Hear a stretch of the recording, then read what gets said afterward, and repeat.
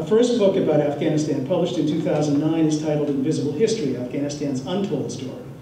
That title was chosen because so many of the facts that drive America's understanding of Afghanistan today have been and remain invisible to those who need them the most. Our latest book, published just last year, is titled Crossing Zero, The AfPak War at the Turning Point of American Empire. There were two main reasons for naming our new book Crossing Zero. The literal one is that Zero Line is the name given to the Durand Line, separating Afghanistan and Pakistan by the military intelligence community. It's a line that the U.S. has fought on both sides of since the 1980s. The other is that given its history, Zero Line is an inescapable metaphor for the turning point at which the United States finds itself after 10 years of war in a place known throughout the ages as the graveyard of empires. Being a graveyard for empires is not what makes Afghanistan unique, though. Empires have fallen just about everywhere. But Afghanistan remains a very special place whose mystical allure imposes a supreme challenge on those who seek the riches of empire. The reasons for this could be that Afghanistan dates back to the origins of the Western dream, to Alexander the Great and the beginning of Western civilization. It could be because it's a gateway to Asia and the vast riches of the Eurasian plain. Or it could be that the British spent more than a century trying to subdue its Pashtun tribes on the northwest frontier of India and failed. The Soviet Union was lured to Afghanistan in the 1980s. So was the United States a little more than a decade later. And if you can believe the Taliban, with similar consequences. After 10 years of grueling Western occupation and over 30 years of war, Afghanistan more than ever remains synonymous with the unknowable and the unattainable.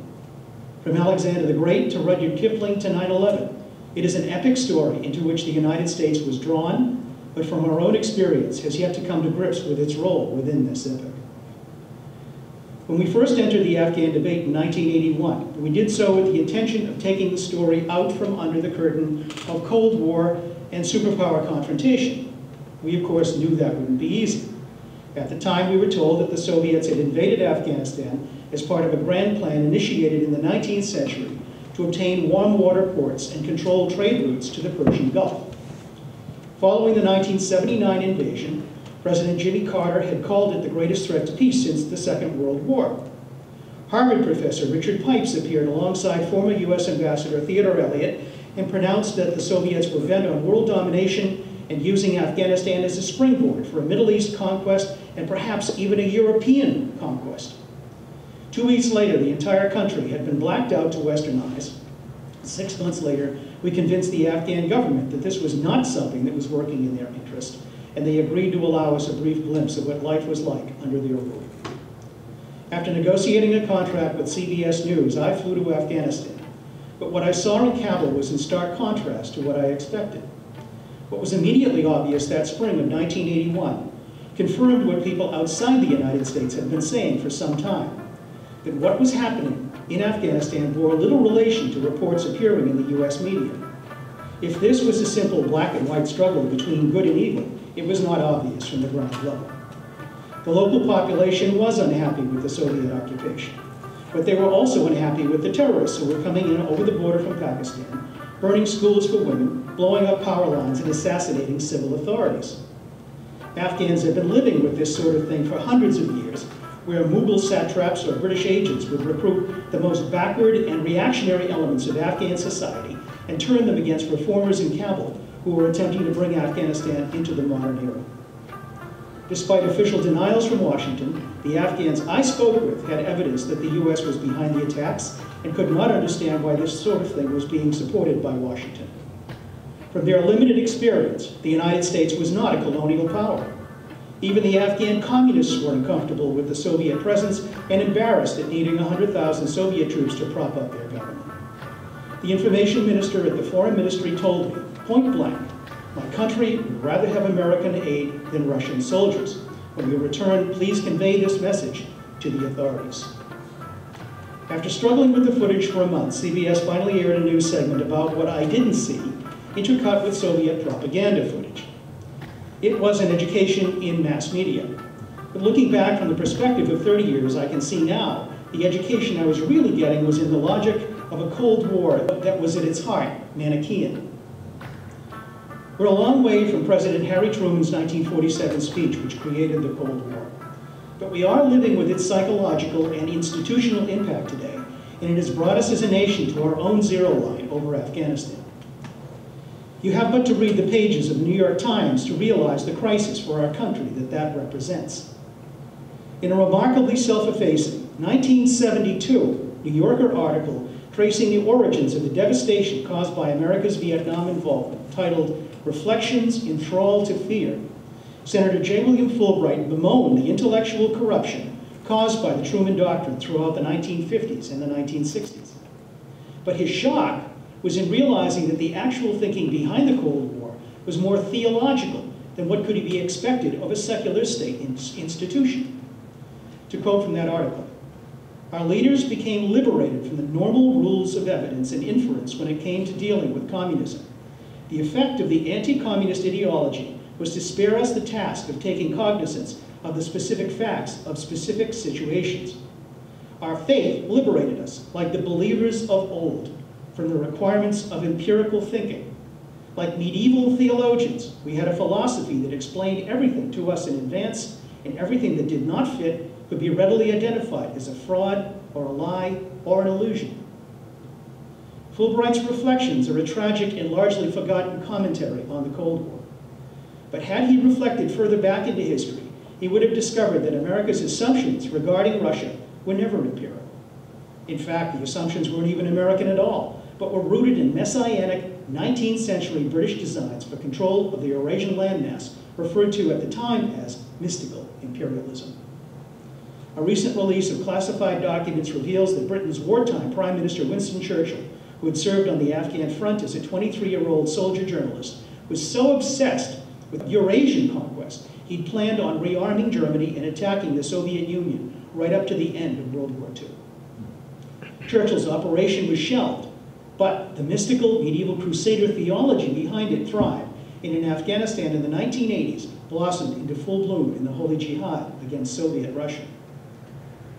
The narrative for President Obama's so-called AfPak strategy began as a rational endeavor prior to his taking office, but in practice reveals a wealth of traditional attitudes, policy directives, and flawed assumptions left over from the British colonial era that have doomed it from the start. The Brookings Institute senior AfPak planner, Bruce Riedel, started out by making a serious diplomatic error in a September 2008 interview by suggesting the Afghan government should be pressured to accept the 19th century British imposed Durand Line, zero line, as an international border. At the same time, Pakistani public opinion expressed outrage at the very idea of being lumped together with Afghanistan into any single policy. America's policymakers should perhaps be forgiven for making such fundamental mistakes in their approach to the peoples of Afghanistan and Pakistan. According to some of America's own diplomats, from the opening of official U.S.-Afghan interaction in the 1920s, Washington simply snubbed any and all efforts by Kabul to establish a direct dialogue out of deference to the primacy of British interests in India. In 1995, U.S. Ambassador Leon Poullada and his wife Lila wrote of U.S. envoy Cornelius Van Engert's report on his first semi-official visit to Kabul in 1922. Quote, Engert's report was factual, objective, and sympathetic to the Afghans he was able to observe that the Afghan officials and others he met were not savage tribal fanatics, but highly cultivated gentlemen, and that the country was in the midst of a major effort to modernize. Had Engert's report been published, it might have done a great deal to dispel the American misperceptions of Afghanistan. The Department of State, however, promptly placed a classification stamp on it and filed it away. The Poulladas go on to relate a follow-up incident in which the roving newscaster Lowell Thomas, piggybacking on Engert's visit, countered Engert's positive report by caricaturing Afghans as, quote, desperados, who obey neither God nor man, uh, know only the law of the rifle and the knife, and are more savage than the Mongol bandits of Tibet in their all-consuming passion for loot, end of quote. The Poulladas emphasized that not only did Thomas's sensational account transform a few isolated incidents into a damning racist characterization of the Afghan people, it also, quote, set the style for a long line of journalistic mayhem by later American visitors to Afghanistan. America's direct involvement in Afghanistan's internal affairs is now close to 40 years old, providing the opportunity to track key events and cross-reference them against a variety of sources and declassified documents to reveal how the narrative was woven. It contains a rather unusual but not unique example of the United States backing one group of people in the first decade and in the third decade fighting against the very same people it previously supported. This narrative provides a vivid picture of how easily messages and allies can be created, monopolized, swapped, and altered without anybody really having to explain or take responsibility for the truth. It also demonstrates how once a narrative is created, no matter how inaccurate or laden with one-sided, self-serving propaganda, the institutional assumptions it creates may be virtually impossible to undo. One complicating factor for the United States refers back to what I mentioned earlier about the British and especially about a company known as the East India Company, beginning around 400 years ago. The company's executives were well known for their draconian pursuit of profits at any cost, were intent on subjugating Afghanistan in any way possible, and obsessed with demonizing Russians whom they saw as far too capable competitors for the jewels of the empire. One of those jewels, the largest diamond in existence, known as the Koh-i-Noor, or the Mountain of Light, once belonged to Ahmad Shah Durrani, the founder of the Afghan royal dynasty that ruled Kabul from 1747 until 1978. It remains the symbol of regional power from Iran to Afghanistan to India, and thanks to the East India Company, today resides as the largest jewel in the crown of England's Queen Elizabeth II. All of this information factors into the Afghan historical narrative and is well known to the people of the region. But the assumptions of sovereignty contained therein remain ignored or simply dismissed by American policymakers as unimportant. The assumptions on which American foreign policy proceed today range from claims that Afghanistan was always a backward state, ruled by warlords, to assertions that the country was never really a nation at all, to proclamations that Afghanistan is unfit for democracy and that it is dangerously naive to think otherwise. Those who knew Afghanistan prior to America's involvement in 2001 understand that these assumptions are wrong. Yet they form the basis of an outdated mythology that underlies the American commitment in the shape of American policy towards the future of Afghanistan. Afghanistan's fierce wars against colonial occupiers are well documented, but the country's efforts to maintain its independence and to establish itself as a modern nation against the constraints and interests posed by these forces are not. According to Vartan Gregorian in his landmark 1969 study, The Emergence of Modern Afghanistan, Afghanistan's identity as a nation first formed in the 16th century with the rise of the mystical Roshaniya movement led by the Sufi poet Bayazid Ansari. One of Ansari's goals was said to be the achievement of equality between men and women. Prior to the British military invasions of the mid-19th century, Afghans were not hostile to the European powers. Of his stay in Kabul in 1832, British explorer Charles Masson reported that a Christian was respectfully referred to as a Katabi, or one of the book. Renowned adventurer and East India Company political officer Alexander Burnes wrote home in May of 1832, quote, the people of this country are kind-hearted and hospitable. They have no prejudice against a Christian and none against our nation. Burnes argued correctly that a strong Afghan leader could keep the country together and resist Russian or Persian encroachment, but installing a British puppet would invite disaster. Yet his argument and the goodwill of the Afghan people were lost when London averted its gaze to a secret and privatized war, sound familiar? Conducted by the East India Company, which set the stage for the partition of Afghanistan with the creation of the Durand Line, the Zero Line, in 1893. Ascending the throne in 1919, King Amanullah brought on a period of rapid modernization and democratic change that makes today's uh, Afghan government seem pitiable by comparison. Declaring Afghanistan's independence from Britain, Amanullah's first constitution in 1923 guaranteed universal suffrage, civil rights to all of Afghanistan's minorities, established a legislative assembly and courts with civil, penal, and commercial codes. He prohibited revenge killings and abolished subsidies for tribal chieftains as well as for the royal family. His support for women's equality and the rapid modernization of Afghan society was an open and consistent theme. Amanullah's embrace of modernism, equality, and democracy is often viewed as the cause of his political downfall in 1929. Yet according to Gregorian and numerous other sources, Amanullah's political undoing stem mostly from a legacy of British colonialism which deprived him of the economic foundation necessary to adequately finance his social reforms, and not from any fundamental rejection of his educational and political programs. The same could be said of King Zahir Shah's experiment in democracy from 1963 to 1973. Charles Dunbar, at the time the political officer at the U.S. Embassy in Kabul, and later the charge d'affaires during the Soviet occupation, recognized that the failure of the experiment was not a result of Afghanistan's backward tendencies, and some would like to believe, but resided in the people's unmet desire for rapid modernization, which the economy could not support. Dunbar wrote in an end-of-tour memo in August of 1970, quote, during the seven years of the experiment, Afghans have become acutely conscious and indeed jealous of the personal freedoms guaranteed them under the 1964 Constitution.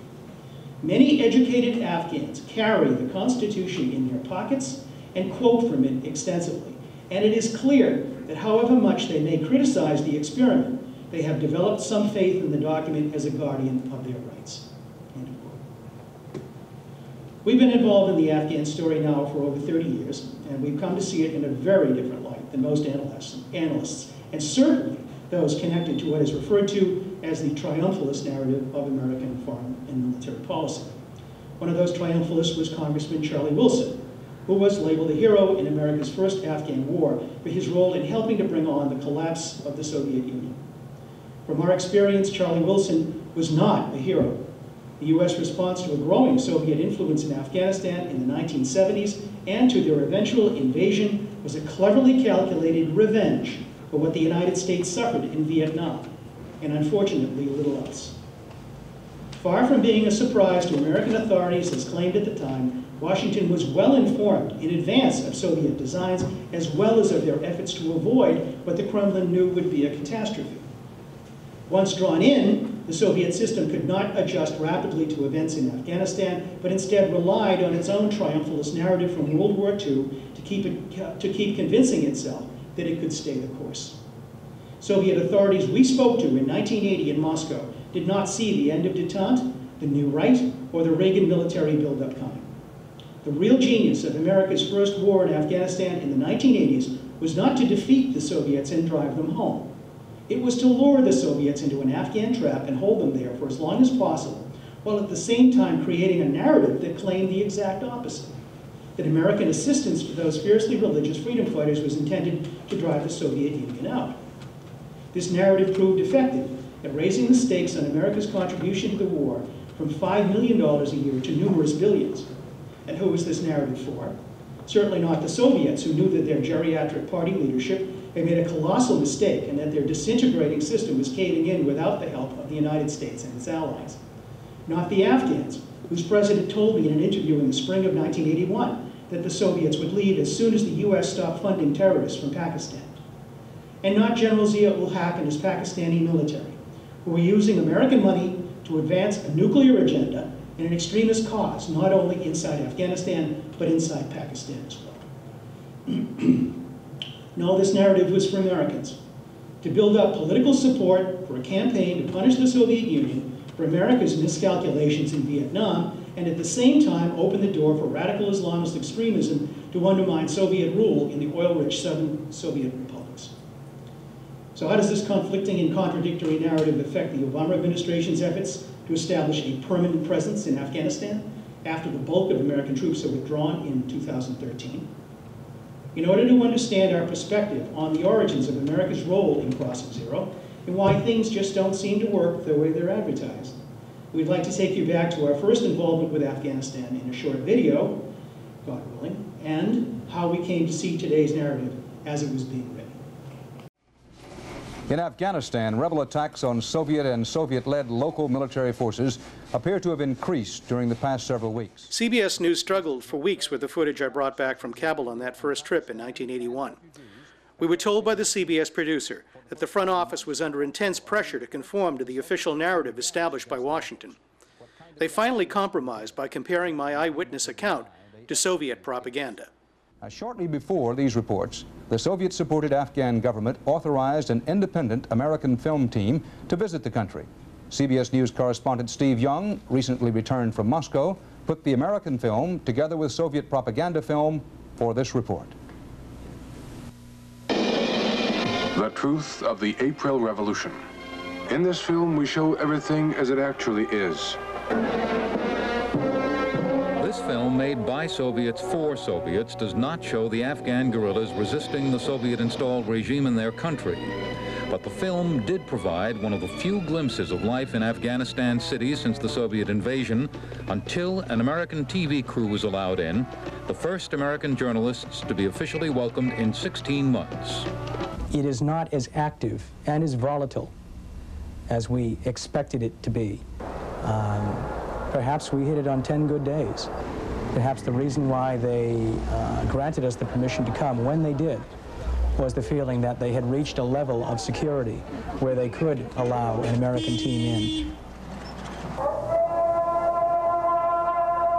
The Afghanistan that Paul Fitzgerald and his crew saw last month was much the same view the Soviets have been showing their own people.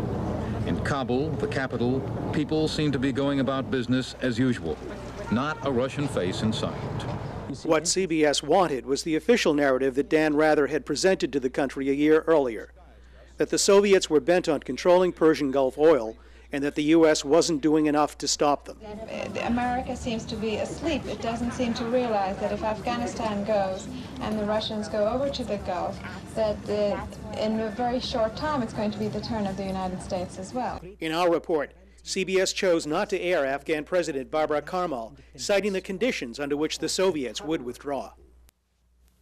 Any time that a reliable and a convincible guarantee is given on the part of the neighboring countries, Pakistan and Iran, and the United States of America and China, that there would be no recurrence of any sign of aggression, provocation, and interferences into the internal of affairs into the internal affairs of Afghanistan. The limited military contingents of the Soviet troops would uh, uh, return to their peaceful land. Otherwise, if these interferences, provocations, and aggressions, particularly from the soil of the from the Pakistani soil, continue to exist, then the limited contingents of the Soviet troops will remain in the country. This is ABC News Nightline. It's more than three years since the Soviet Union invaded Afghanistan and installed its... Our return trip in 1983 was to follow up on Karmal's statement. Was this just more Soviet propaganda put out to weaken America's resolve in the fight against the Soviet empire? Or was it true? And if so, what would it take for the Soviets to go home? side has gained much ground and attempts at negotiation have gotten nowhere. In effect, a military and political stalemate. Under these circumstances, earlier this month, a television news team headed by American freelance journalist Paul Fitzgerald was granted permission to spend 10 days in Marxist-controlled Afghanistan. For part of that time, they were accompanied by one of America's leading experts on crisis negotiation, Professor Roger Fisher of Harvard University. Here now is their exclusive report narrated by Paul Fitzgerald. Roger Fisher of the Harvard Negotiation Project had already been approached by the Soviets when we offered him the opportunity to go with us to Kabul. And the results were startling. I was in Moscow in October, and a Soviet friend of mine spent several days trying to get a hold of me, and when he did, he then said, how do we get out of Afghanistan? And I said, that's the last question I expected you ask. He said, by we, I mean Americans as well as Russians. I said, it's a lot easier for us to get out than it is for you. And that was there. And then when Paul Fitzgerald shortly thereafter said, would I go with him on another film trip, I said, well, put me down for a visa if it comes along and I'll see. And since then, I've, been, I've met with Russians in Washington and talked a little about the problem. And then when the invitation came through, indicated we could talk with people, I said, why not? So we went over. How is a negotiated settlement possible? Well, I, no one can know what the Soviet Union is going to do. Uh, we can fight the war politically and militarily. The way to influence the Soviet Union is to come up and give them a choice, give them a chance to get out, give them a chance for a neutral, non-aligned Afghanistan, which is not an anti-Soviet government, not a pro-Soviet government, but one which will have no military bases from either side. Uh, the UN is working on that. They're going back to Geneva in June. I talked with the, yesterday in New York with both Pakistan and Afghan ambassadors and with UN officials. I think there's a fair chance. No one can be sure. And I don't think the Soviet Union themselves know exactly what they're going to do. But we ought to construct and see if we can develop an option that serves them up, uh, a golden bridge, a, a way to get out without a military defeat. We leave a coalition government. Right now, they're leaving, I think they're opening it up. I think that Mr. Karmal is being downplayed. They're making it possible. He would resign if necessary. I'm absolutely confident he You're would talking resign. about the Prime Minister. The, uh, the President would resign. President, yes. President Karmal would resign if necessary to help get a coalition acceptable government, and that's the kind of thing we have to be working toward. Needless to say, the Golden Bridge was never offered because Charlie Wilson's war was gaining political traction as a vindication for Vietnam and a justification for Reagan's World War II sized arms buildup. Everybody climbed on board the effort to hurt the Soviet Union in Afghanistan, apparently without a care that once started, the war could never be turned off. It was such a heroic effort. It was so black and white. It was so good guys against the bad guys. They rose up and vanquished the evil invader. This is going to go down as the finest chapter in the history of the Central Intelligence Agency. There's no question about that. They just didn't make any mistakes. The 1993 bombing of the World Trade Towers was the first outward sign that some very big mistakes had been made. We didn't look ahead to the monster this was going to create after the war. We really created a monster in Afghanistan. We've created fundamentalist, heavily armed fundamentalist factions that could never have achieved the kind of, of military capability without our support. The monster that Sig Harrison saw created in the 1980s grew far beyond the Afghan war and Charlie Wilson's desire to avenge Vietnam. Islamic fundamentalists from all over the world hooked into these groups, got trained with our help through these groups, and now they're doing a lot of things we don't like. So, what was Charlie Wilson thinking when he pushed the billion dollar program to arm and train fundamentalist factions when the Soviets really wanted to get out, at least as early as 1982? It was that if we could get them something sophisticated to be able to at least destroy the Soviet tanks and to be able to, to defend themselves against the Soviet helicopter gunships, that they conceivably could drive the Soviets from their land. It was a great 10 years. It was a great 10 years for Charlie Wilson, but a bad 30 years for the Afghan people and American journalism. Because hardly anyone realizes today that the biggest mistake of all had been the charade to simply ignore Soviet efforts to leave Afghanistan while claiming that Charlie Wilson's war was being waged to drive them out.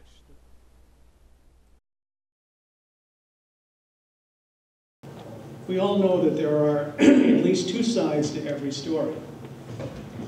For every white paper put out by the US government for public consumption, there is a corresponding black paper laying out the true intentions of the policy. Throughout the Cold War, this division between the known and the unknown, between the transparency of light and the darkness of secrecy, played havoc with the domestic political narrative and the very concept of what was real and what wasn't. In fact, it could be said to have laid the foundation for a form of magical thinking from which the political process has never recovered. To quote again from Senator William Fulbright, the truly remarkable thing about this Cold War psychology is a totally illogical transfer of the burden of proof from those who make charges to those who question them. In this frame of reference, communists are guilty until proved innocent or simply by definition. Rational men cannot deal with each other on this basis. But mystical imperialism is not by definition rational. Since the Cold War, our medieval theologians have moved this irrational process beyond communism and finally back to Islam, where it began with the Crusades in 1099. During the 1980s, we chose to take on this psychology, and we learned that behind the exoteric curtain was a deeper esoteric tradition that was indeed the product of the medieval mind. Liz will now explain what we came to know and how we came to know it. Thank you.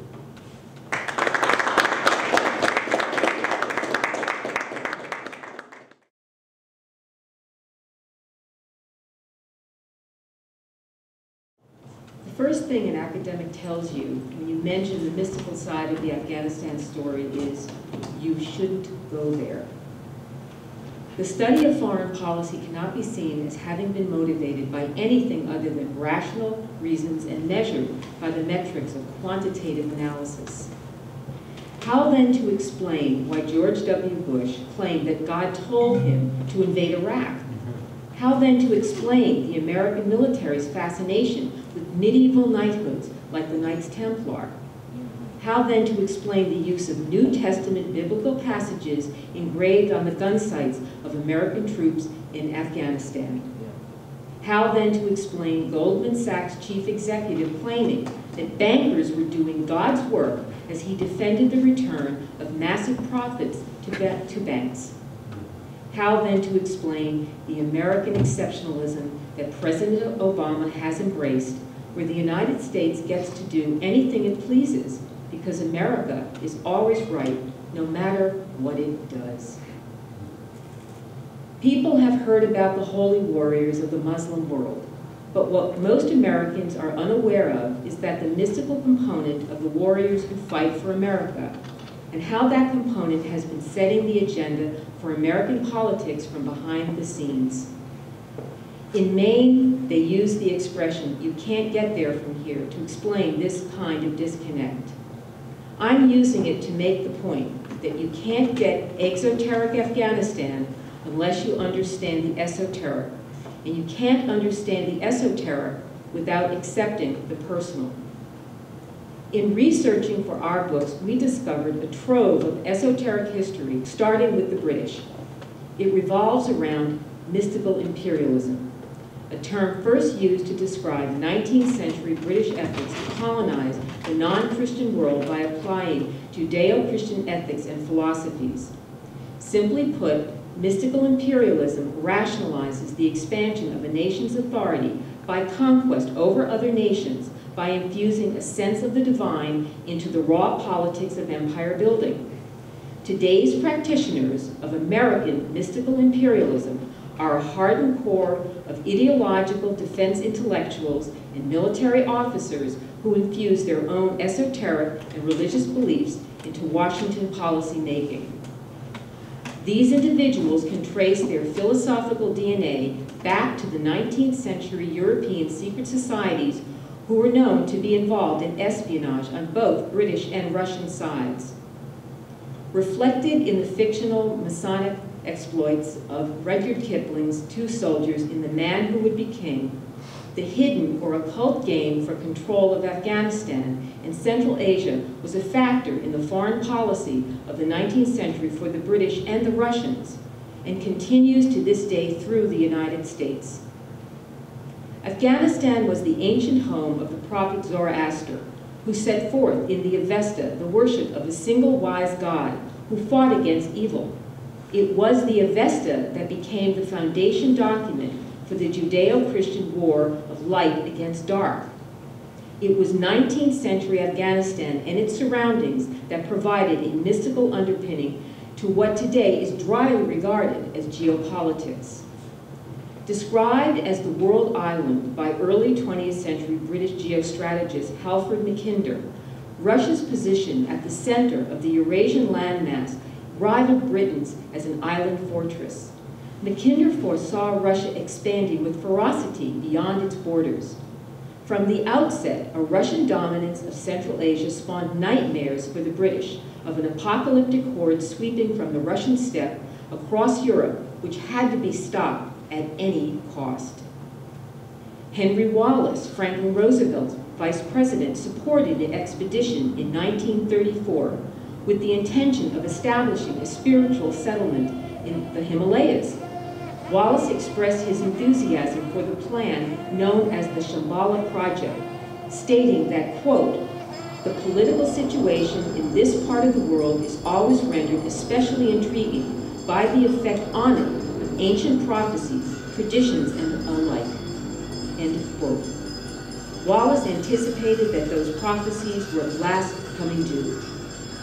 Hidden to human eyes, Shambhala was said by the Tibetan Buddhists to lie somewhere near Tibet and would finally be revealed at the end of time. Others believed it was hidden in the valleys of the Pamir mountain range in Afghanistan this was the Shambhala that concealed the lost wisdom, the secrets of immortality, and the beginnings of the human race. Adolf Hitler sent an expedition to Tibet and Afghanistan in 1939 in the hopes of finding proof of Aryan links to Germany in Central Asia. from Halford Mackinder at the beginning of the 20th century to the American Cold Warrior James Burnham, the godfather of neoconservatism, to Zbigniew Brzezinski, the Grand Master of American foreign policy. Eurasia represented the central basis for American global primacy in a world defined by Manichaean opposites. In a 1945 Partisan Review article titled Lenin's Heir, Burnham, while still at the Office of Strategic Services, infused his apocalyptic views with mystical allusions to the Eurasian heartland as the magnetic core of Soviet power, comparing it to the mystical reality of the one of Neoplatonism, whose unstoppable progression descends through the stages of mind, soul, and matter towards its ultimate destination beyond the Eurasian boundaries and through appeasement and infiltration, England and the United States. As an anti-communist ideology, Burnham's warnings about the inevitability of Soviet expansion ring like a medieval theologian's incantation throughout Winston Churchill's 1946 Iron Curtain speech, which established the need for a Cold War against the Soviet Union. 26 years later, Senator William Fulbright would realize that only because of the disastrous outcome of Vietnam was there any willingness to re-examine the basic assumptions of the Cold War. The 1972 Strategic Arms Limitation Talks, known as SALT, would spring from this rational reassessment, as would the Anti-Ballistic Missile Treaty and eventually SALT II. But because of National Security Advisor Zbigniew Brzezinski's unyielding hostility toward compromise with the Soviet Union over Afghanistan, President Carter would ask the Senate to delay consideration of the treaty. That treaty would never be passed and the United States would begin a long, slow march into what Burnham described as the magnetic core of the world island. Our involvement in the Afghan story started in 1979 when we began production of a documentary titled Arms Race the Economy, A Delicate Balance for Pat Robertson's Christian Broadcasting Network. If anybody was engaged in a mystical crusade to change America, it was Pat Robertson, and working on the documentary opened our eyes to the drastic philosophical divisions emerging in American society. During the next months, numerous experts, including economist John Kenneth Galbraith, lent their experience to our understanding of the damage that a massive diversion of tax dollars and investment would represent to the civilian economy. Galbraith insisted that accelerated defense spending and renewing the Cold War, as the new right was demanding, would destroy the civilian economy.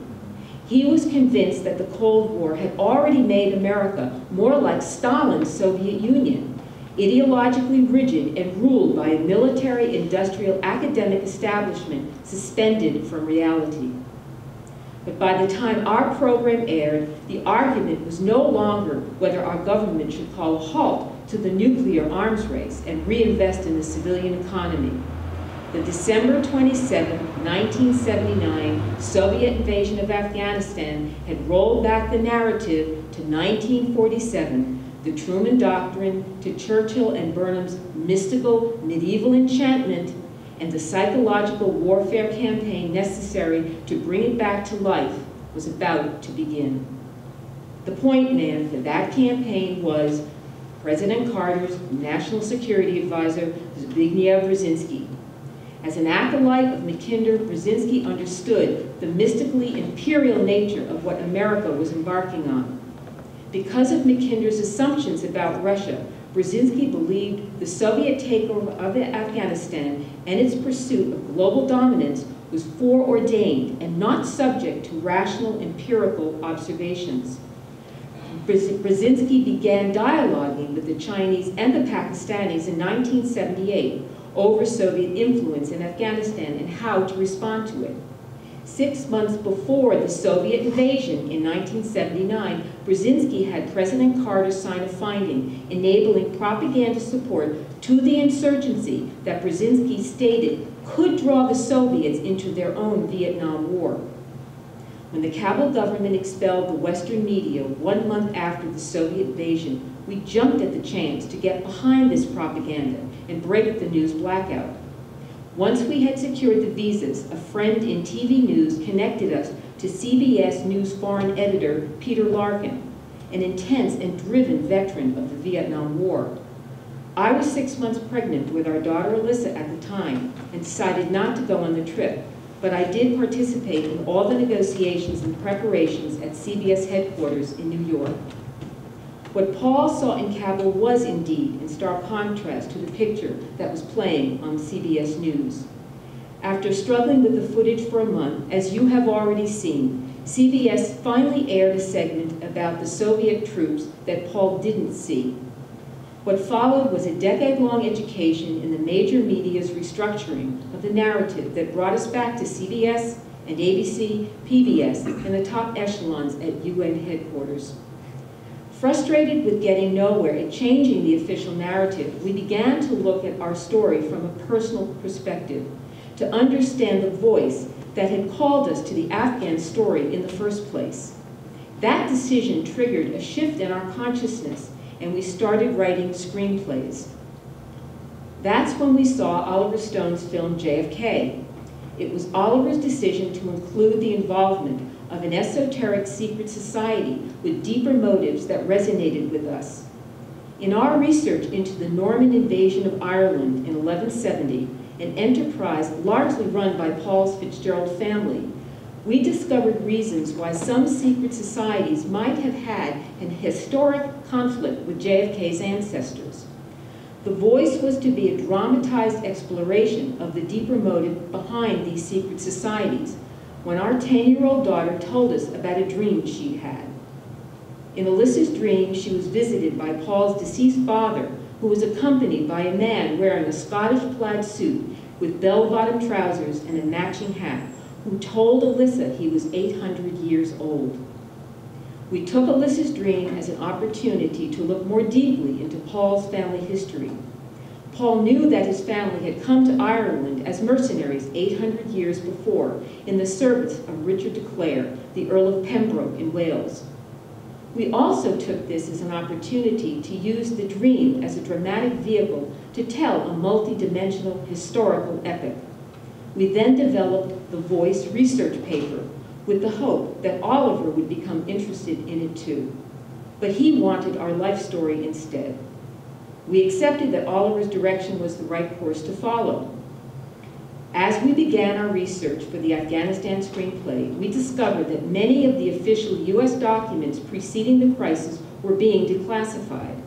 As we built our script around those documents, we found that the renewed Cold War of the 1970s against the Soviet Union had been referred to as a Manichaean war of light against dark. We also found, to our shock, an appeal from Congress to the Mujahideen to use their mystical communications network to curtail the drug trade, which was growing beyond control. Then, we unexpectedly discovered a connection that brought us back full circle to Alyssa's dream. While going through a book by an ex-CIA agent about British efforts in Afghanistan in the 19th century, we found photos of two Americans who played a prominent role in the shadows. One of these men was dressed wearing a Scottish plaid suit with bell-bottom trousers and a matching hat. Alyssa confirmed that day when she came home from school that Alexander Gardner, an Irish-American mercenary wearing a clan uniform of his own design, was the man from her dream. She had somehow tapped a synchronicity about our Afghan adventure that we were not yet aware of.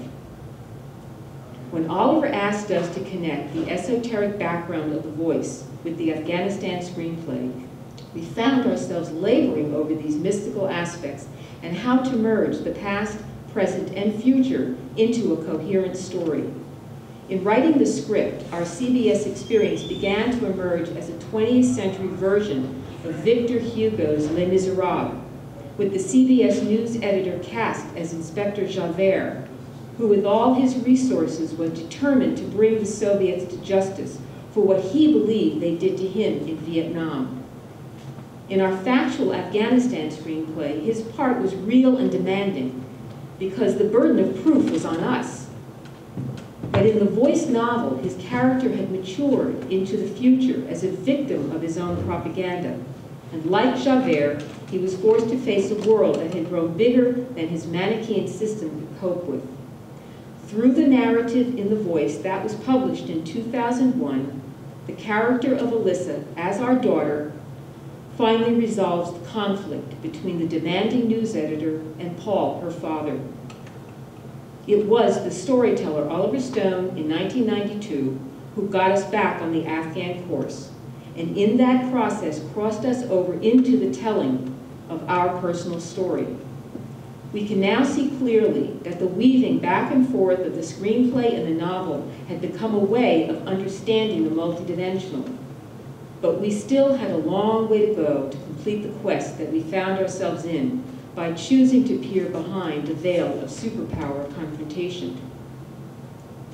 Flash forward to December 23, 2011. Our daughter, Alyssa, tells us that her friend from San Francisco is visiting nearby with her father, and they are coming to our Christmas party. When she tells us their last name is Larkin, I mention that the only Larkin we'd ever met was Peter Larkin, who worked at CBS News who was wounded in Vietnam and hired us to go to Afghanistan in 1981. Alyssa tells us it must be the same person because he worked at CBS News and still suffers from the wounds acquired in Vietnam. We were shocked, having lost touch with him back in 1983. Having the former CBS News foreign editor, the man who launched us into our 30-year saga, walked through the front door of our home just as Santa emerged to hand out gifts was beyond surreal. All Peter could talk about was how wonderful our daughter is and how much she had helped his daughter to settle in San Francisco.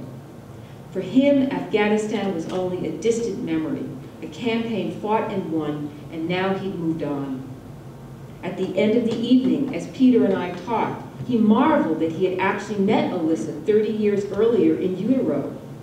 As Paul walked Peter to the door to leave, Paul said to him, If I never thanked you for sending me to Afghanistan, I am thanking you now. To which Peter responded instantly, If I never thanked you for going to Afghanistan, I am thanking you now. It was as if the novelized encounter between Paul and Peter through Alyssa which had been foreshadowed in The Voice in 2001, had been brought into reality. Our personal story that we had started to write for Oliver Stone 20 years ago had finally written itself. It was an astonishing alpha and omega moment produced by our daughters that unexpectedly completed a journey begun 30 years ago between two competing storytellers. But the propaganda narrative broadcast by the mainstream media throughout the 1980s to support Zbigniew Brzezinski's Manichaean geostrategy of good versus evil towards the Soviet Union remains in place. Like the Cold War itself, it is an obsolete model of statecraft whose time has come and gone and is now handicapping America when the U.S. can least afford it. Call it fate, call it karma, or simply blowback. America's dilemma in Afghanistan today began as an act of mystical imperialism when Brzezinski encouraged the rise of Islamic extremism in Central Asia to defeat his nemesis, the Soviet Union. And in a twist of fate, since 9-11, Brzezinski has been the consummate rationalist, calling for an end to irrational hostilities towards the Muslim world in order to counter the spread of Islamic extremism. We can only hope that as one who has experienced the seduction of mystical imperial power and lived to witness the unintended consequences of its use, Zbigniew Brzezinski will succeed in throwing cold water on the current crop of overheated mystical imperialists who are busy yet again in cooking up their delusions of grandeur. Thank you.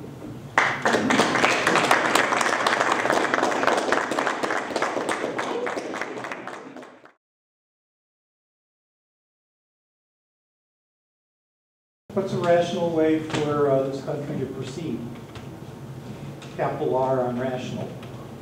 Capital R and rational. Well, I, I, I think that one of the biggest problems we've had over the years is to see what we think of as rational people doing irrational things. And I Or mean, self, self-proclaimed rational people. well, so, well, the fact is, is that I think we're all guilty of irrationalism at one point or another, you know, okay? I, I, I just think that we have this thing called mystical imperialism, which is like institutionalized irrationalism. Um, You can look, and, you know, I mentioned in my speech the fact that Afghanistan is just a, a, a perfect example of chapter and verse, where you can go in and you can see exactly what happened and how it happened and how the narrative was then constructed to make everyone think that this was an active, overt act of aggression by a Soviet Union that was resurgent, coming forward and going to go into the Middle East and conquer. These guys were falling apart. We interviewed, we interviewed, um, in research for our book, we interviewed um, Paul Warnke, who, had- who had written the SALT II treaty um, and negotiated it, and it was also involved SALT, SALT I as well. And he went with Robert McNamara to the Soviet Union.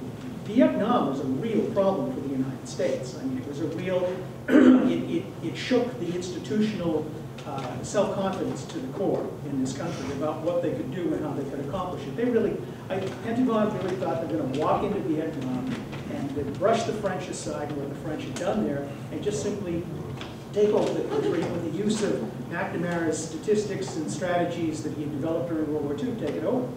Just as an aside, would you consider call Vietnam mystical imperialism? Well, I, I, I would say that yes, that's exactly Well, what, I that's a good example I think, what- I think I'd like to state that every war is mystical imperialism. That's the point. What the British were practicing, it was called that in the 19th century. Today, we've been led to believe that this idea, of- and what is mystical imperialism?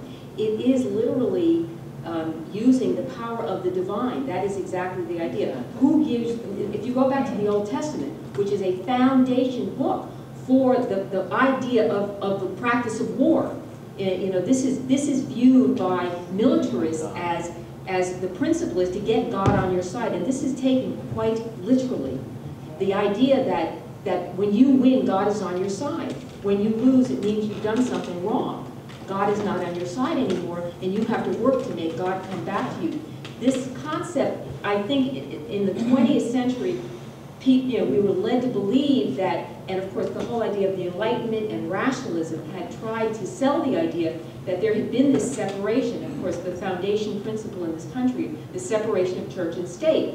And yet, when you actually look at what Zbigniew Brzezinski was doing, he was actually practicing, that's the whole point, mystical imperialism when he decided that he was going to lure the Soviets into Afghanistan to trap them there and, and win the Cold War. And, and as far as he was concerned, that was absolutely justifiable, totally. Now, how else can you explain it except as an act of, you know, of, the word, I guess, irrationality doesn't address mystical imperialism as well as mystical imperialism dresses itself.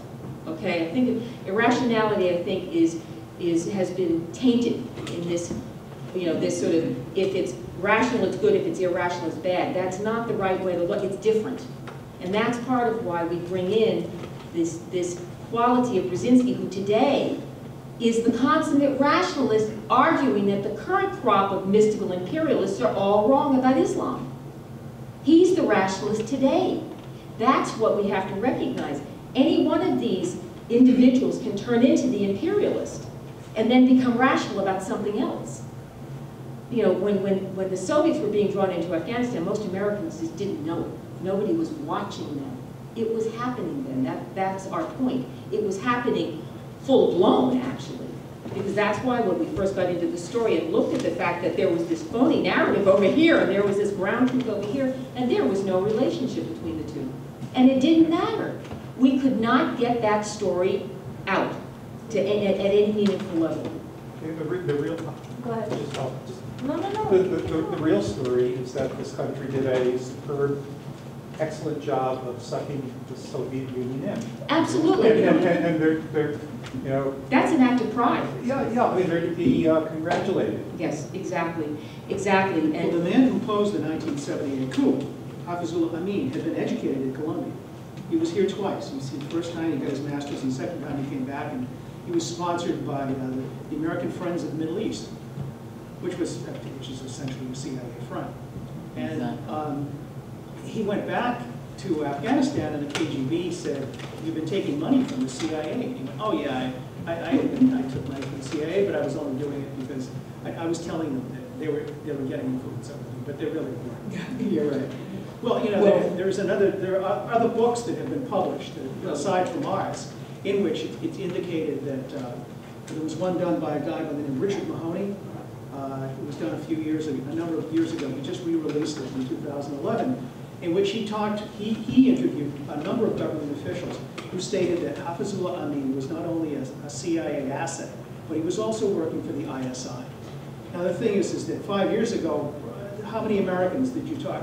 Would you ask know what even the ISI is? It's Pakistan's intelligence service. They have been involved. Now, you've got to look back to the British in the 19th century and who did their, the majority of the fighting for them in the development, the creation of the ISI was a British creation, as was the CIA. Go see a movie like uh, The Good Shepherd as an example. They'll give you an example of exactly chapter and verse where the British took um, the Americans aside and they took the Pakistanis aside and they said, all right, we want you to get together because you're going to advance the empire. And that empire is a, is a, is a mystical empire. And the whole, the whole objective of this, which is, spans many centuries, is to control Eurasia. That is the mystical destination of this. And you also have the counter to that. You also have a lot of Russian mystics from the 19th century, early 20th century, who believe the same thing, Blavatsky and Madame Blavatsky, and that's what, um, that's what the uh, Roosevelt's vice president, Henry Wallace, was. He joined in. He was the next generation of people who picked up on the Gurdjieff and, and, uh, and, and Blavatsky's Shambhala. They were going off to Shambhala. And the CIA was involved in it too. That, that episode where uh, that Liz mentioned about uh, the Germans went and, and posed an expedition to, uh, to Tibet and Afghanistan to see if there's, to find the roots of, of, uh, of Aryan, their Aryan ancestry there. Um, that was very real. And, and you know, there, were, there are Afghans who claim that that is the case, who met with Hitler and met with uh, the, the, the, um, uh, the, the, German foreign minister, what's his name? Ribbentrop, to discuss this. Okay, we've been told by that. That when Ribbentrop was told that, they, that there was actual, there was proof that the Afghans were the predecessors of the of the Aryans, that they actually uh, Hitler wanted to meet with the Afghans and find out exactly what that was all about. So I mean, this this sort of thing, and the Americans, the American, the guy uh, Ernst Schaefer, the guy who did the uh, the uh, exploration into Tibet for Hitler, uh, actually was a very close friend of an American by the name of Brooke Dolan. Brooke Dolan had actually done in the early 30s had done uh, one of these expeditions to Tibet with him. They put together a number of different institutions, uh, museums, and universities a, a mystical tour. Uh, in fact, uh, there's, a, uh, there's a book that was written a few years ago uh, called Tournament of Shadows. And it's an excellent, if you're interested and you're drawn to this particular aspect of it, about this part of the world. Okay? And the fact is, is that, you know, the, the thing about the, the mystical aspect of it and the irrational versus the rational, you can say, I mean, I don't consider myself to be particularly irrational, and I don't consider myself to be mystical. Okay? But every so often, these sort of things occur, which are absolutely confounding.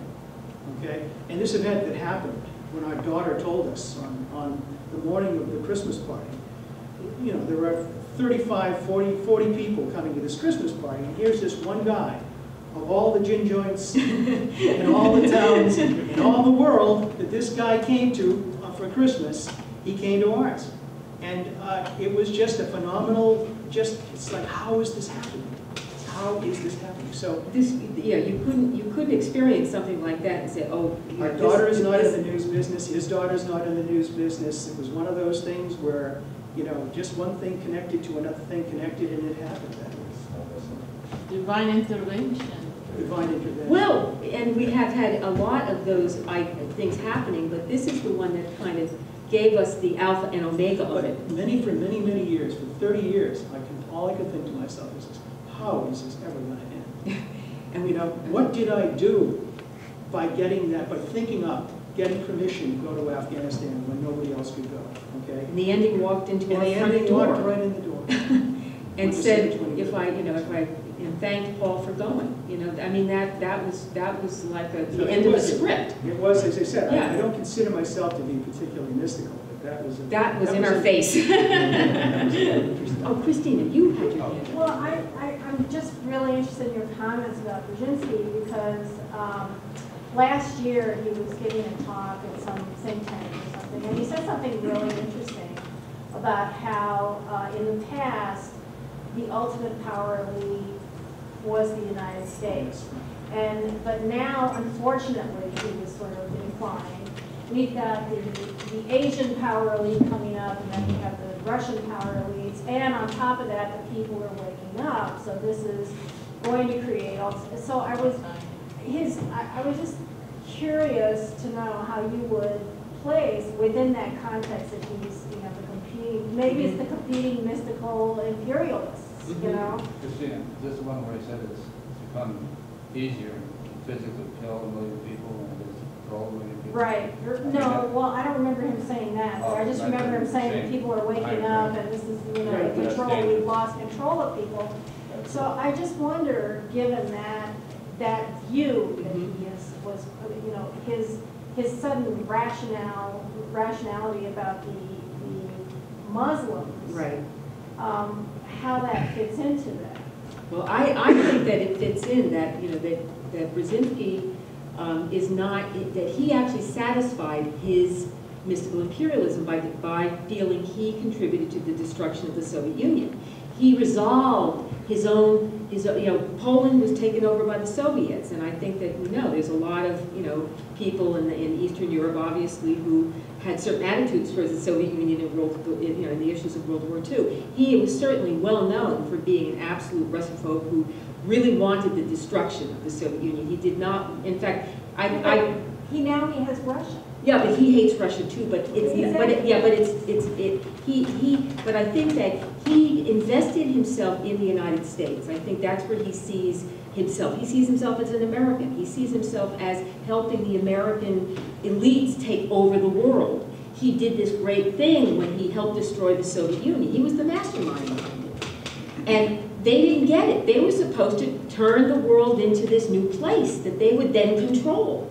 And they've lost it. And he's, he's tearing his hair Well, out. he states it pretty clearly in his book, uh, The Grand Chessboard, that uh, what, he- he's at odds with the Anglo-Saxon Yeah, the- the domination. Templars. He's With the Anglo-Saxon, and that's what we kind of found out with the, with the voice, okay? That you've got these competing knighthoods that, that came out of the Crusades. You have the Teutonic knighthood, the German knighthood, you have the, the, uh, the Knights of Malta, today the Knights of Malta, at the time they were the Knights Hospitaller, the original group that formed, okay, prior to the Crusades. And they were there to basically provide safety for pilgrims who were going to the Holy Land.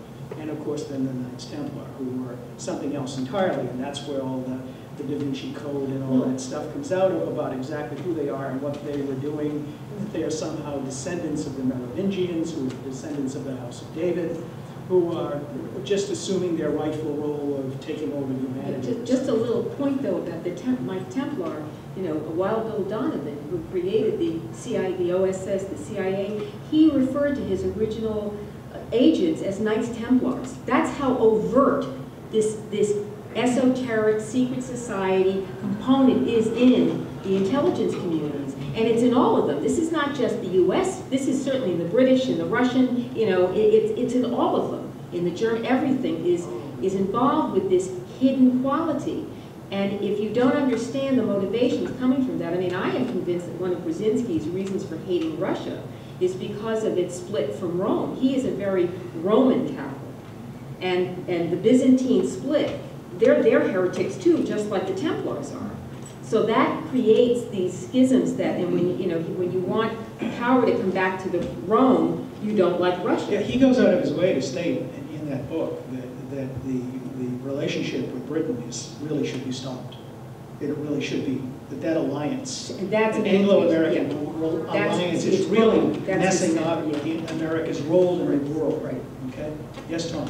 He's also somewhat uh, outspoken about Israel as well. When, uh, Yes, he is. When they were talking about bombing uh, Iran, that they'd have to fly over Iraq, and we'd have to shoot them down and that sort of thing. Mm-hmm. Hasn't he uh, provided Israel with the perfect existential bully by stoking up uh, Muslim fundamentalism around the world? Well, He- Well, he certainly has. He's- He certainly has contributed to that, yeah. But, but in terms, but interestingly enough. Unintended Un- Yeah, we, we would call it that. I, I wouldn't think that that would have been, his motivation was to destroy the Soviet Union. No, no, I'm just saying, uh, he's handed them a perfect excuse Yes, to yes. go, to go But that's what, I'm- that's what we're saying. Now we're saying, Brzezinski, you know, you know the unintended consequence of what you did with mystical imperialism. Would you please say something to the current crop of guys? and I think he, see- I think he is saying something, and I don't think they're listening. No, because he's not- He's trying to, he's trying to redirect the sh- the ship of state, and, and the fact is, is that I don't think there really are all that many people who are qualified at that level, who understand the mystical aspects of all of this process, that, uh, mystical in the sense that, um, that they um, are not bound by the, the common, everyday thing that all the rest of us are. They are above and beyond the They're fray. another paradigm. Well, it's- Yeah, and it's like this, what the- what we were talking about earlier, uh, this zero point one one, you know, zero zero zero percent who have all this money, you know, who have half the wealth of the world right now and are basically free to do with it whatever they choose. They can create reality. Well, that, and that is exactly what, what in fact, um, one of our neighbors told us recently, that um, he was involved with esoteric finance. Has anyone ever heard of that? It- It's a form of, it's a way of approaching the financial world, basically, literally, calls it esoteric. The derivatives that were created were referred to as esoteric finance. And what it means basically is that you get to create anything you want, and you basically put it out because you have the structures, you have the credibility, you have all these systems in place that you can take something that has value, you know, over here, and then reformulate it into a thousand pieces over here and claim each thousand pieces has the same you know, individual value, and then sell it on that basis, which is exactly what they did. They call that esoteric And finance. as long as somebody buys it, it's real. So- It's it's esoteric finance, but it's also math controlling everything. Yeah, oh, It's absolutely. really math. Math is it. Math is what is controlling the world right now. What they call it is derivatives. Yes, they call it the There are credit trillions of, there's trillions Right. of dollars in The derivatives. derivatives, Right, and they're. And Absolutely. And these people are geniuses from MIT mm-hmm. who come up with Who- these who- equations that create all of these possibilities. And nobody else understands it because it's so infinitely complex. And we're all willing to sort of say, okay, you're the math genius, you know. But these are immoral people. Well, what happened- Incredibly immoral. You see, what, what they are, is But they're. it's math that's controlling. But you see, it's just like what happened this past week when the man from Goldman Sachs did his mea culpa in the New York Times, and apparently Mayor Bloomberg was so upset. He ran over to Goldman Sachs to tell them, even God, even God couldn't make this place look good. All right? No, you know, but, you know, he was so upset that his Goldman Sachs was being criticized, okay? So that idea that they don't see it that way, they literally are, oh, Yeah, could, could you briefly comment on the, um, on the existence of some no man's land between Pakistan and Afghanistan called Walla Walla Corridor? If that exists, I'd like to speak to The it. Wakhan corridor up in. It's called the Wakhan, I heard Walla Walla, I'm not sure what. Yeah, I, I didn't know it was the Yeah, I mean, corridor. who controls it, who controls it? Well, it's still technically part of Afghanistan, but it was, it, that was one of those things that was derived uh, over an agreement between Russia and England and China. What year? In nineteen, oh, I think it finally, finalized in nineteen oh seven, Okay, but, um, they were, Af- Afghanistan, if you look at a map, Louis Dupree's got these great maps in his book, uh, called Afghanistan, the American anthropologist. And, uh, he, he's got one map where he shows um, the, the northern descent of the Russians towards Afghanistan, who are taking over into South Central Asia, and the, and the upward uh, western, uh, east, I'm sorry, towards the east, actually, from India, of the British. Okay, taking those provinces bit by bit by bit by bit. And China was involved at the time, and Tibet, the issue over Tibet's independence was involved at the time. And so they finally came to these, these grand decisions over who was going to control what territories, and, and this went on from the 18, late 1890s until, uh, well, until the, the creation of Pakistan. They were still doing it with the separation of, of uh, East Pakistan from West Pakistan, and the issue now with Kashmir, as an example, between the Pakistanis and the Indians. So you have all these tribal rivalries that have been going on now that are basically external forces. These are the great, the great powers imposing these on regional tribal groups. And uh, in some cases, as the Durand Line, is completely artificial. It was done completely for the convenience of the British Empire. Durand basically laid down, he had a map and he says, all right, he, he invites the Afghan on Amir in and says, you control, you administer everything on your side of the border and we'll administer everything on our side of the border on this line right here. And um, the fact was is that uh, the, the English made it pretty, pretty clear that they wanted to go over the border and take all of Afghanistan and basically cut it up into ethnicities. But uh, they couldn't do it. They tried it. They tried it on two separate occasions. They tried it in the first Anglo-Afghan War and were thrown out, in which they lost their entire army. And in the second Anglo-Afghan War, they seized all of Afghanistan, but then realized that the same thing over a period of a couple of years was happening. They were paying off this tribal chieftain and that tribal chieftain, and it was becoming so expensive they just simply couldn't maintain it. But they did up until 1947. They still maintained something like 25,000 troops in that northwest frontier area. They occupied it permanently. They had a policy of what was called butcher and bolt. The English would go into a village, into a Pashtun village, they would butcher everybody in the village, and then they'd bolt before they could get caught. That was the way, that was the policy by which they tried to control the region. Uh.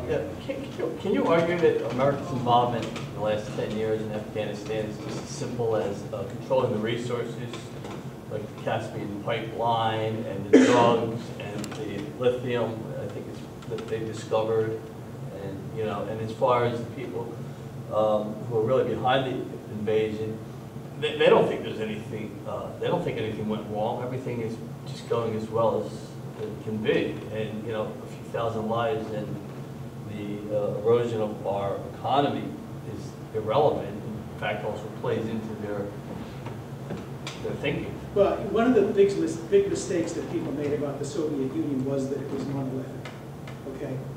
One of the big mistakes people make about the United States is that it's monolithic. Okay? You've got power vortexes in this country that operate against each other, okay? And I, I would say, you know, look back to the Kennedy administration, think that that's what you were seeing there. You were seeing one group right. of controllers working against another group of controllers and sending a message, you know, that this is an Anglo-Saxon alliance here. You don't bring a Roman Catholic in to run this country and that stuff. Okay? Now that's the symbolic level. But there are other, there are banking interests. There's organized crime interests. There are drug trafficking interests. There are global economic issues that are involved here. Okay? And so that's why you see that there are emphasis. When the Republicans get in, they tend to, they tend to really emphasize pushing on the whole oil issue. Okay? because the, a lot of that comes from the, from the oil belt. Comes from Louisiana, Tennessee, uh, Texas, oil, oil crowd, okay? Baker, Jim Baker. Jim Baker's got a, a law firm in South Texas called Baker Botts. Okay? Baker Botts is the law, law firm for oil companies. We did it, we happened to do a story that had nothing to do with Afghanistan back in 1983. And Baker Botts was all over it, and it was all about oil. Okay? So, and that's what where did the Taliban get brought? They got brought to Houston when they came here. Okay, they got brought in when they were trying to build the, the Unocal pipeline. Cowboy hats. 1998, 99. That's an aspect of it. Okay, that is a big aspect of it. And the fact is, is that the Saudis are very much involved in financing all of this. And it's got to the point now where, you know, the, the monopoly that the United States had on authority, on power, with the nuclear power and with the, with the various fleets floating around the Pacific and with the economy, the American economy. We're not, the country we were in 1946, 47, 48, 49, 50.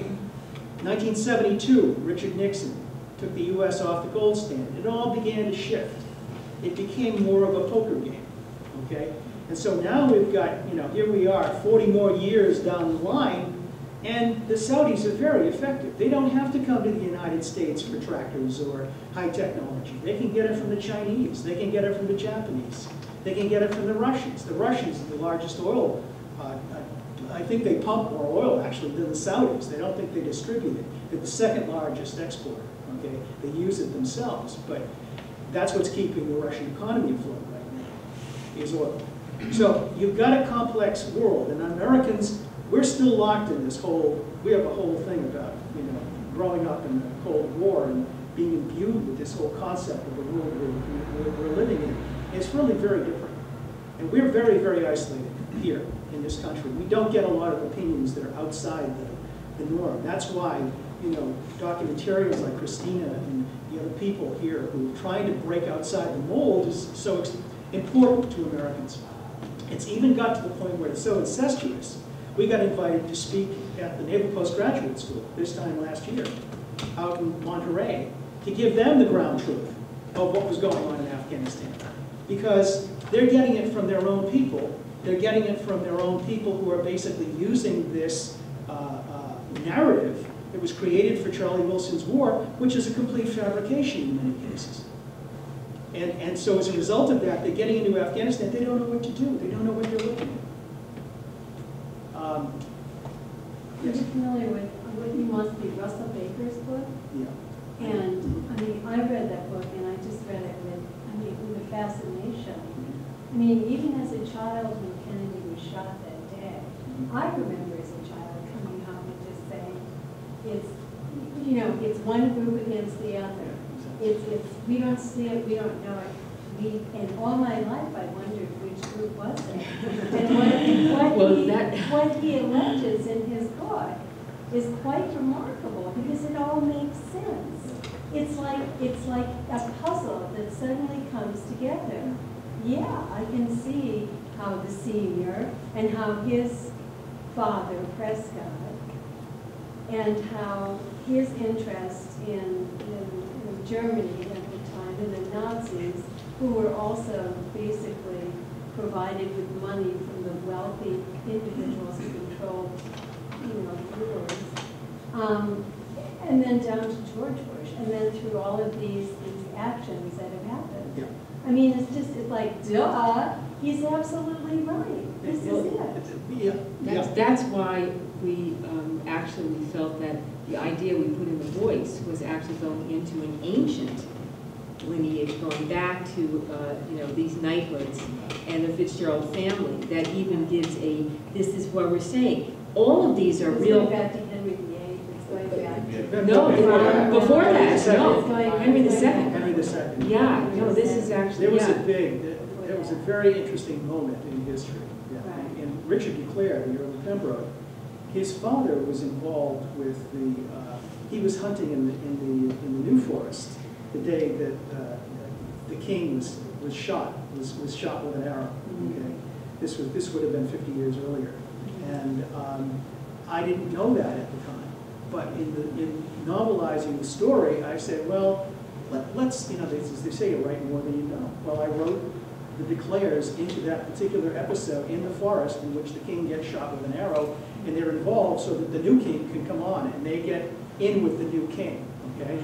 And that was exactly what had happened. So, you know, you once again, so, you know, this is something when you write novels, when you write screenplays, it just, it, you start, uh, um, uh, Gore Vidal, when he wrote the novel Burr, he wrote in that novel that, uh, that, um, that Aaron Burr had a uh, hair trigger that was malfunctioning on his pistol. And that was the reason he lost the duel to Alexander Hamilton. I'm sorry, that Alexander Hamilton had it. And Burr actually fired, lifted his gun and fired, and Alexander Hamilton's pistol misfired because he had a hair trigger that was, he was trying to cheat. Right. Well, nobody knew that at the time, but Gore Vidal supposed that that had to have been what happened. And of course, they, 10 years, 15 years later, they find the pistols that they had the duel with, and there's the hair trigger, and it doesn't work right. So, this fellow. I I guess, um, as far as the Western control of Eurasia, the desire to do that, is there anything at the core of it beyond, say, the control of Jerusalem and the Holy Land and things like the Himalayas and those Well, sort of, Brzezinski makes it pretty clear what the importance of Eurasia is all about. Eurasia is, is, is the future. It's the 21st, it's the 22nd century. China is now industrialized, Russia is industrialized, Russia has massive amounts of oil. Uh, If the Chinese and the Russian get together with the Indians on the subcontinent, put that all together, and you've got a a global block of, of brain power and industrial power and resources that the United States simply can't compete with, and Europe can't compete with either. So, you know, Europeans are a lot closer to the Russians than we are, and especially the Germans. And they're forging their own alliances, and they're going their own way. The question is, is that at some point, if the United States keeps pursuing this aggressive, we're, you know, Yes. we're, we're the grand, we're the Yes. grand power, we get to fly our predator drones over Yeah, everybody. yeah. Sooner or later, and it has, this has been supposed in, in um, uh, mil- certain military documents, that uh, the containment process that the United States used towards China and the Soviet Union during the Cold War will be turned against the United Yes, States and- and and- Israel. yes, and Israel. yes, and Israel, And, and so we will be the ones quarantined, not. Right, right. So, and that's in the process of happening. Yes. What are the things that, if we want to learn more about the situation in Afghanistan, what websites might we find good stuff on? There's a bunch of things on Afghanistan. There's a good uh, Global Post has got a woman, uh, Jean McKenzie. McKenzie, who's done a- some very, very good reporting. We sat with her a few months ago, and uh, uh, I asked her, I said, what is your belief? She spent a lot of time there. And I said, what's your belief, what's going to happen? And so she said, it's going to be a civil war. Um, and- And it's going to, and so I said, so do we stay or do we go? And she said, we should leave, because it's going to be a civil war anyway. We stay, and we'll get caught up in the middle of it. So, so that's one website. That Jean McKenzie does a lot of good reporting. I think the Asia Times. Asia Times. uh, Certain people, certain Yeah. people, it's not just the Asia Times, uh, Roger Kumar. Bhadrakumar is one of the people who does. Um, Also, um, the Washington Post has done some very good reporting there. Uh, I have been told that the New York Times is, con- is continuing to be compromised when it comes to their, their coverage. That they do good coverage, but it's clearly from a very specific. Look, look what happened just a, a week ago with this, this killing, of the so-called, the- the lone wolf killings. Yes. And the New York Post, the New York Times and all the press in the United States says it was a lone wolf. And the people on the ground in Afghanistan are saying, look, this was premeditated, there were twenty soldiers in town. That's simply not covered. No, it's not documented. No, I mean, we found it, but we found, we saw that by reading uh, Bhadrakumar, who was on the Asia Times. And so, um, yeah, he's one, and um, I, I would just recommend, Ahmed Rashid has a new book out, by. Uh, But you've got to remember that, you know, you, you need the, you need a scorecard to tell the players. Ahmed Rashid is a Pakistani, and he all favors, if they, if they favor negotiate, talking with the Taliban and bringing them into the government, then you know that they're part of the traditional narrative, they're part of the agenda. The Taliban were created by Pakistan's ISI with the help of British intelligence and the CIA, okay? So anybody who wants the Taliban, we're, we're, what, what the Obama administration is doing is they're, go- they've gone right back to what the Clinton administration was doing in 1995 and 1996. Which is basically, by the way, that going back to the British position. That's the whole point. And in 1947, the British handed over Pakistan and Afghanistan, Pakistan and, and, and Afghanistan as a basically, uh, in, terms of the region, to the United States, and Pakistan was, was the ally to the United States. And that became the paradigm, and that's been continuing ever since then. Yes. Hi, um, I to know, is extraterritoriality synonymous with mystical imperialism? And number two, question number two, uh, does Aleister Crowley fit into any of this? Crowley. He he winds his way up. there. He's, he's, he's quite a character. He's quite a And all of these, all of these people were, were being financed by some intelligence service, okay? Blavatsky The British tried to arrest Blavatsky because they were convinced she was working for the Tsar. Okay? And uh, Crowley. Crowley offered himself Yeah, he, to British intelligence. you know, they don't really know whether Crowley really worked for these people. The rumors are it could it could have gone either way, but he, he definitely had was in uh, you know in the esoteric world, and he was apparently uh, you know one of the people who was using uh, mystical powers, and that is what that's what's so interesting is that. Um, that is a foundation idea for the intelligence community. Right now, for instance, the, in the intelligence community, the use of something called remote viewing, the idea that you basically sit in a room and you project your consciousness to, to, to the past, the future, the present, wherever, and you help sneak into places through you know, these kinds of means. These are practices that are quite common in the intelligence communities. Crowley would have been a, an earlier version of that. They used mystics and seers and, you know, and people who were able to, you know, do these things. But it's not really known whether Crowley actually did it or not. Geopolitics is, is directly involved with extraterritoriality, okay? That's the whole idea that, you know, you, if you have the resources you, you will need in order to, to conquer the next, your, your neighbors. If your neighbor has the oil you need in order to survive, you'll conquer your neighbor, okay? That's the, the basic idea behind geopolitics. And that is without the divine intervention. Well, the divine intervention becomes kind of like a justification. Yeah, God, yeah, that's what George told- Bush said, God God told told him to invade Iraq. Fact- That's mystical imperialism, folks, that's it. Mullah Omar is an avid dreamer. The Afghans are dreamers, okay? Publicly, they talk about They talk this. about Yeah. dreams. In fact, if Mullah Yeah. Omar dreams that a certain place should be attacked, that, that God sent him that dream, and therefore he will, it, it, it's, a- it's a divine message, that God talks to you through your dreams. Blame everything on God, right? Yeah, well, that's It used to be called manifest. They take no personal responsibility, and that is the problem. Right, right. That is the Yes, problem with it. yes. Exactly. They get to blame God. God told me to do it, or, you know, I failed God if it didn't work. This is determinism. It's determinism.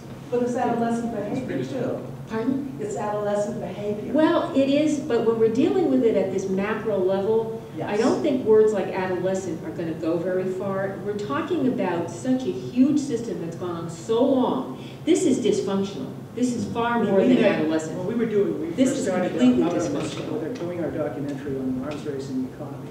And I had got myself a job, a TV show, on Pat Robertson's local TV station up in Boston. I was not a born-again Christian. There was, we had this thing called the equal time provision, you had, where he had to be airing all these things, which is why we, that, that, that basically balanced the conservative right-wing programming that he was airing. So I went to the management, and they were airing this thing called the SALT syndrome, which was an anti-SALT II documentary. That the United, that the Soviet Union was ready to burst out, they were out of their seams. They were going to, the tanks were going to be rolling down Pennsylvania Avenue any minute, and it was just, it was an, it was an, a screed to, to this kind of idea. Brzezinski must have told him that, right? Of course. Well, it was all the same old people. I mean, it was uh, American Security Council, which was a base apparently uh, on the board of directors of all oil company executives who had put this thing out. And it was the traditional group of people, Paul Nitze and all these other people who were, you know, who were involved in every, TV every single run-up, folks, yeah. every single run-up of the, of the defense budget historically. So anyway, I went to the management and I said, you know, I said, you can't air this thing five times a day as a, as a public service message without airing something in opposition to it. So I said, so they said, fine, what do you want to do? I said, well, I, you know, a friend just invited me down to interview some people about the SALT II treaty. And uh, so, you know, why don't you let me, you know, do that and we'll put it together, we'll package it as a documentary and you can run it on CBN if you want to, okay? To, to meet your equal time provision. So they, they thought it over and they said, fine, you know, you can have a hundred dollars or something to that effect. It wasn't a lot of money.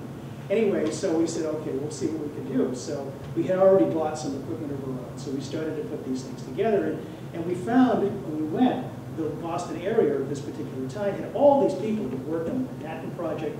They were all in, in, in academia. They were all mostly at MIT or they were at Tufts or they were at BU. Philip and Phyllis Morrison, you know, somebody said, oh, you gotta talk to Philip and Phyllis Morrison. Okay, they've worked on the Manhattan Project. So we got on the phone and said, can, can we talk to you? They said, we'll be right over.